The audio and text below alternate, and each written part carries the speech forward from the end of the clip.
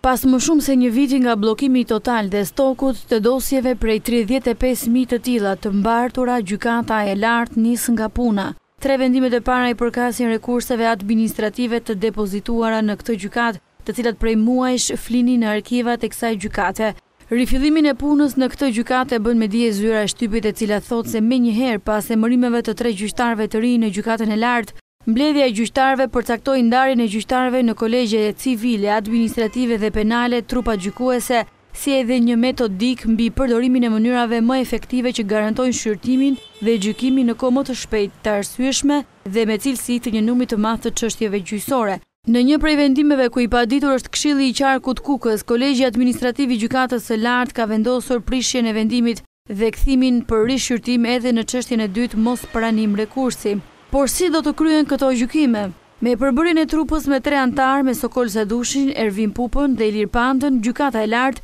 sqaron se Kolegji Administrativ ka filluar shqyrtimin e çështjeve dhe në vendimmarrjen e tij referuar Kushtetutës dhe kuadrit të ri ligjor që normon zhvillimin e gjykimit në Gjykatën e Lartë, orientohet drejt një kuptimi dhe zbatimi të drejtë të ligjit. Qëndrimet e mbajtura nga Kolegji Administrativ konsistojnë në interpretimin juridik të çështjeve që orientohen në disa drejtime kryesore si. Shqyrtimi i dosjeve gjyqësore administrative për të cilat është ngritur çështja e përcaktimit të juridiksionit do të gjykohen në dhomë këshillimi pa praninë e palëve, mbi bazën e dokumenteve nga një trupë e përbërë nga tre gjyqtarë. Aktualisht Gjykata e Lartë funksionon me katër gjyqtarë nga nëntëmbëdhjetë që përcakton ligji organik që duhet të ketë në trupën e saj.